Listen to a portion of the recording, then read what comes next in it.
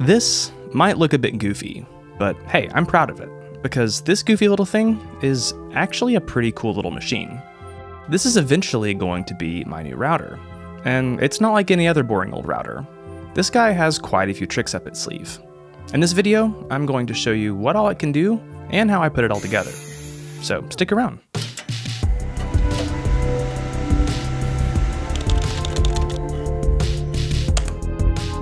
Now before we get too far into this video, I want to take just a second to thank the sponsor of today's video, HelloFresh. If you're a fan of the Hardware Haven channel, you know I'm not too shabby at putting together a DIY project or home server. But when it comes to putting together a healthy meal, that's a different story. That's why I'm happy to talk about the sponsor of today's video, HelloFresh. I'm sure many of you have goals for the new year, and HelloFresh can be a game changer when it comes to sticking to them. With a variety of weekly recipes to choose from, including options like Calorie Smart and Carb Smart, HelloFresh makes it easy to eat well and achieve your goals. Not only do you get top quality ingredients with HelloFresh, but they travel from the farm to you in less than 7 days, ensuring that everything is nice and fresh. Plus, they make it easy to save time and be environmentally friendly by delivering everything straight to your door in eco friendly packaging. And surprisingly, it's often more affordable than the grocery store, and 25% cheaper than takeout. My wife and I love using HelloFresh, even though she's a great cook and loves finding new recipes on her own. But sometimes life just gets crazy, and it's nice to have an easy and affordable option for eating healthy and tasty meals. We love trying all the new recipes they offer, but our favorite is definitely the yogurt marinated garlic chicken and the lemony couscous. If you're looking for a way to eat healthy while still preserving your valuable time and money, give HelloFresh a shot. Right now, you can go to HelloFresh.com and use code HardwareHaven21 for 21 free meals plus free shipping. Make your new year healthy, stress free, and delicious with HelloFresh. If you're a regular viewer of the channel, you might have seen my previous video installing Proxmox and pfSense on this Odyssey from Seeed Studio. And in this video, I'll be doing something really similar. But I'm going to take advantage of some of the features that the Odyssey offers and take things to the next level. If you're unfamiliar with pfSense or Proxmox, you can check out my video covering them both here, but to sum things up, pfSense is an open source software that turns basically any PC into a router and allows for a lot of control and flexibility. And Proxmox is a hypervisor, or operating system, that will let us install pfSense as a virtual machine, meaning we can run that and multiple other operating systems all on this one computer. If you are familiar with all of those things, you might be concerned about using a VM for a router. However, this thing seems to be super stable after testing. I'm also going to have a dedicated drive for pfSense, so if Proxmox gets all scrambled up for some reason, I should be able to just boot from the pfSense SSD and at least have my router back up and running. I'll talk more about that in a bit though. Also, all the services I'm running on the system are pretty much reliant on my router, so it's not really a problem if my router goes down or is being serviced. The Odyssey from Seeed Studio is packed with a lot of cool features and I.O., and the two that I'm taking advantage of today are the SATA port and the M.2 PCIe slot. In the previous video, where I covered pfSense virtualization on this little guy, I had to use a USB to Ethernet adapter to pass through both onboard NICs to the pfSense VM. That way I'd still have network to my Proxmox hypervisor. But today, I'm going to use this cool little dual 2.5 gigabit Ethernet to M.2 adapter I found on AliExpress. This will let me have four onboard NICs that I can hopefully pass through to VMs or use for Proxmox as needed. I'm also going to add a 2.5 inch 128GB SSD alongside the M.2 SATA SSD. The M.2 drive will be the boot drive and LVM storage for Proxmox, and the 2.5 inch drive will be a dedicated boot drive for pfSense. This allows, as I mentioned earlier, to boot directly from the pfSense drive in case something terrible happens to my Proxmox machine, allowing me to at least get my router back up and running as quickly as possible. Now, there's no sense in running pfSense as a virtual machine unless I plan on running other things on this machine as well, which I am, hence the name Ultimate Router. Alongside the router virtual machine, I'm going to set up Pi-hole, which is a DNS sinkhole, or essentially a DNS server between your network and your actual DNS server. It can do cool things like block ads or other malicious content, but I'll mostly be using it just to set up local DNS records, so I can, for example, access my router's web UI by going to something like https colon slash slash myrouter.home instead of having to remember the specific IP address. I'm also going to set up a WireGuard VPN server, which will let me tunnel back into my home network from multiple devices, providing a little bit of security and privacy in certain situations.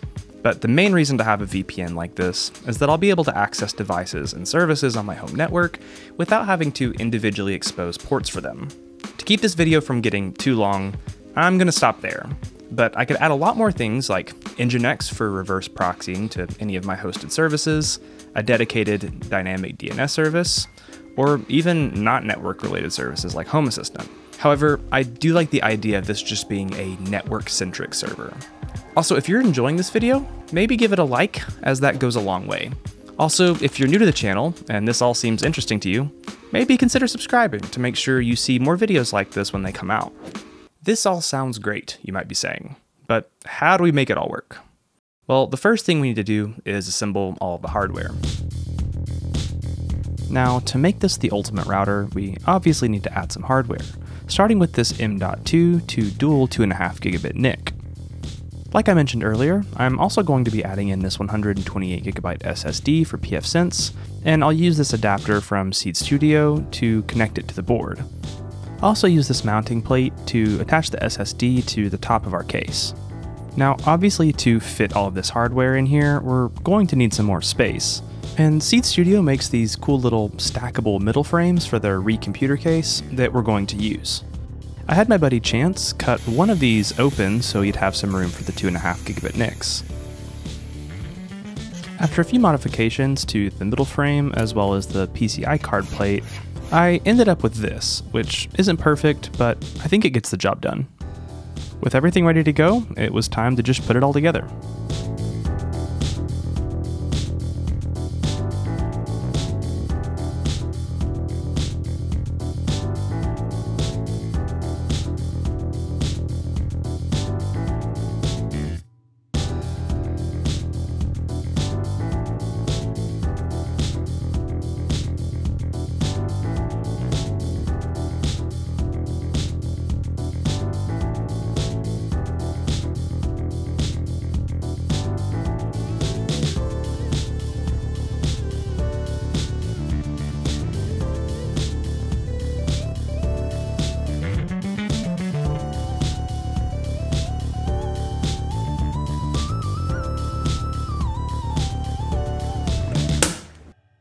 With all the hardware assembled, it was clearly time to move on to the software. First, I installed Proxmox the same way I always would, and then enabled IOMMU following Proxmox's guide. IOMMU is required to pass through PCI devices like our NICs. I also quickly labeled the Realtek NICs in the Network tab just to keep things straight. It was obvious which interface was already in use, so I knew the other was going to be the one that gets passed through to pfSense. Then I started on pfSense by creating a virtual machine. First, I uploaded the pfSense install ISO, which I already had on hand, then started creating a new virtual machine with the OS type Other, and gave it the installer ISO. I went with Q35 and OVMF instead of SeaBIOS because I needed pfSense to boot in UEFI so that it could work both in our virtual machine and on bare metal if needed. Because I'm going to pass through the disk, I deleted the default virtual drive. I gave it 4 CPU cores and selected host as the CPU type to give pfSense access to all of the instruction sets on the CPU, and then gave it 3GB of memory. Under network, I selected none because I'll be passing through the NICs via PCI pass-through. Before starting up the VM, I needed to pass through our drive and NICs. The NICs were easy because they're all on individual IOMMU groups, so I just passed through each one, selecting all functions and PCI Express since we're running Q35. Passing the disk through wasn't quite as easy since the SATA controller is used for both the SATA port as well as the SATA M.2 boot drive. So instead of using PCI pass-through, I was able to follow a guide that I'll link in the description below to pass the disk virtually to the VM, and it worked great. With that all out of the way, I booted up the virtual machine, making sure to uncheck Secure Boot on the first startup. And then installed pfSense, as I did in the previous video. Once installed, I could identify which Intel NIC was which by plugging one in and seeing which interface was shown as up. The 2.5 gigabit interface wasn't listed because BSD, which is what pfSense is built on, doesn't include the correct drivers by default. So, following another guide, which I'll also link in the description, I managed to get the correct drivers installed and rebooted the machine. There's also a hardware checksum offloading option in pfSense that needs to be disabled for Realtek NICs or virtualized interfaces to work properly. Because I was expecting some issues with the Realtek NIC at first, I set it up on a separate switch and a 192.168.2 subnet and connected my desktop to that switch just to make sure it worked properly. At first, I thought it wasn't functioning as I couldn't get access to the web or the pfSense admin panel, but then I realized I was just being a bit dumb. Because it was set up as the OPT1 interface and not the LAN interface, there were no default rules set up, so packets weren't being routed anywhere. After copying some rules over from the LAN interface, everything worked perfectly. So I switched over the Intel LAN port to be on the 192.168.2 subnet and on its own switch, and I ran the 2.5 gigabit interface to my 2.5 gigabit switch that my NAS devices and such are on, and everything seemed to be working great. With pfSense set up, it was time to move on to Pi-hole. For this, I decided to run an LXC container rather than a full-fledged VM to help preserve resources. I'm not an expert on LXC containers, or anything I cover on this channel for that matter, but I felt confident enough to give things a shot after a little bit of research. Because I'm comfortable with it, I landed on just downloading the Debian 11 template and creating an LXC container with it that I called Pi-hole. I gave it 8 gigabytes of storage, 1 CPU core, and 512 megabytes of RAM. This should be plenty, but if I ever do run into bottlenecks down the road, I can always allocate more resources. I gave it a static IP and spun it up. Running Pi-hole on Debian is as simple as installing curl, running a single script, and then following the instructions. I actually have a whole video covering the setup process on a really old Mac Mini if you're interested in learning more about Pi-hole. With Pi-hole setup, all I needed to do was change the DNS server and the pfSense config, and then the router started handing out the Pi-hole DNS address to all of its DHCP clients. To set up a container for WireGuard, I set up a container in the exact same way as the Pi-hole container, but gave it two CPU cores, just because maybe WireGuard needs a little bit more processing. I don't know.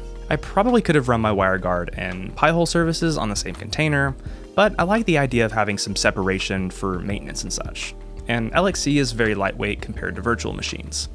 To run WireGuard, there was a little bit of configuration needed on the host machine to make sure all of the tunneling networking stuff worked properly.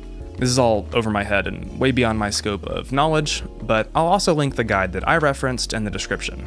Rather than trying to do all of the WireGuard config manually, I decided to use PiVPN, which can also be set up using a convenient single script. Once again, I just followed the instructions, selecting to force IPv6 routing, creating a new non-root user, and then selecting WireGuard as my VPN protocol. I changed my port to 51821 to avoid conflicts with my actual WireGuard server, which is 51820, and selected a custom DNS server so that I could use my Pi-hole instance. To run WireGuard, you will need a domain name pointing back to your public IP you'll probably want to use a dynamic DNS service like DuckDNS, since you probably have a dynamic IP address. I've covered this quite a few times before. I set my instance up with a pre-existing domain name that I have, and then set up port forwarding on my current actual router to forward port 51821 to my WireGuard container. In the command line, I use the PiVPN tool to create a new peer for my phone, and then scan the QR code in the WireGuard app to set up my tunnel and boom, I had a working VPN over a cellular connection. At this point, everything seemed to be working great after running it for a few hours. I even tested to make sure I could boot directly off of the pfSense SSD. But you may have noticed that I mentioned port forwarding on my actual router a minute ago, and not pfSense. That's because I haven't actually swapped this out for my current router yet. And I know that's kind of lame. I mean, why build an ultimate router if I'm not going to use it? Well, I do plan to use this as my actual router, but I just haven't quite had the time to do it. I don't mind breaking stuff, and my wife doesn't even care that much when I mess with her computer, but breaking our home internet just isn't really something I want to do until I have a lot of time to troubleshoot while no one else is home. I'd also like to have some time to brush up on my pfSense and networking skills before I make the switch. But just know that I fully plan to make a full video covering it when I do. If this all seems interesting to you, maybe check out this video here, where I do a full-on deep dive into setting up Proxmox and PCI pass-through for a home server. I also want to thank HelloFresh again for making this video possible, and don't forget to go to the description or HelloFresh.com and use code HardwareHaven21 to get 21 free meals plus free shipping. That's about it for this one though, so as always, thanks for watching, stay curious, and I hope to see you in the next one.